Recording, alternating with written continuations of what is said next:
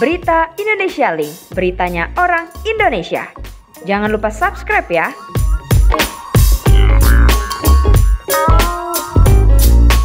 Adam Denny menyebut Jering SID menghubunginya baru-baru ini, namun diabaikannya lantaran ia sudah menutup pintu komunikasi sejak laporan yang diterima di Polda Metro Jaya.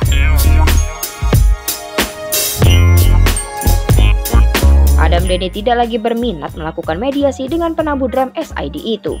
Pasalnya cara itu sudah diupayakannya sebelum laporannya masuk di Polda Metro Jaya tetapi Jering SID justru menolak dan menantangnya.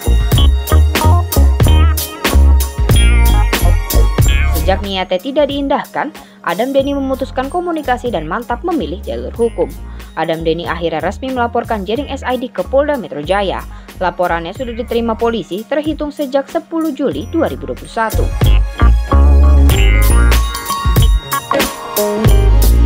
Permasalahan antara keduanya berawal ketika akun Instagram Jering SID hilang. Akun bernama @jrxsid tersebut tidak bisa ditemukan lewat fitur search. Istri Jering SID Nora Alexandra lantas mengumumkan lewat Instagram story bahwa akun suaminya kena ban.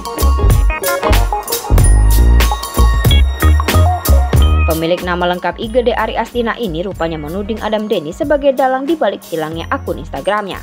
Tidak cuma menuding, Adam Denny lewat unggahan di Instagramnya menyebut telah dimaki-maki oleh Jering melalui sambungan telepon. Tidak lama setelah Adam Denny mengungkap tudingan Jering, Nora Alexandra melayangkan permintaan maaf atas perilaku suaminya.